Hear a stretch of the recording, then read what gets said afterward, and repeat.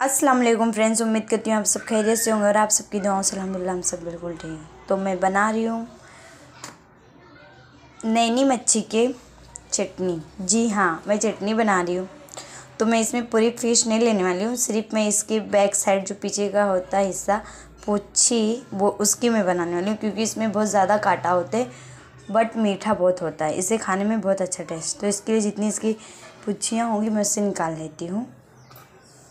तो मैंने सारी पुच्छी अलग कर ली है। अब मैं इसे धो के अच्छे से वॉश करके फिर मैं इसे फ्राई करने वाली हूँ। तो यहाँ पे मैंने धुल के एकदम अच्छे से साफ़ हो गया क्लीन हो गया। चटनी बनाने के लिए मैंने लाल मिर्ची चार से पाँच, नमक स्वाद अनुसार, लहसुन की कलिया और एक खटाई।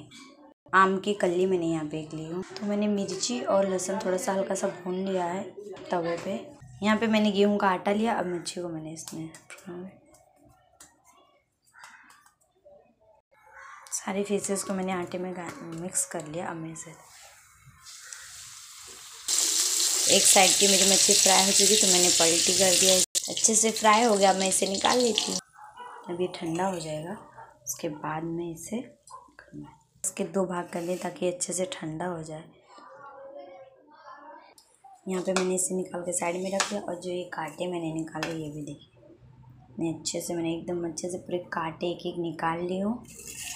अभी मैं इसके अंदर चटनी मैंने सिलबट्टे पे वो किया है, पीसा है। आप चाहे मिक्सर में भी कर सकते हैं। अभी मैं इसे चटनी को मच्छी में मिक्स कर इसे एकदम अच्छे से मिक्स कर लिया और आप इसे दाल चावल के साथ भी खा सकते हैं, रोटी के साथ भी खा सकते हैं। बहुत टेस्टी लगेगा। यहाँ पे मैंने दाल और चावल दोनों ले लिए हैं। अभी मैं इसे चटनी को भी, मैं इसके साथ चटनी रख दी मुझे बहुत अच्छा लगता है।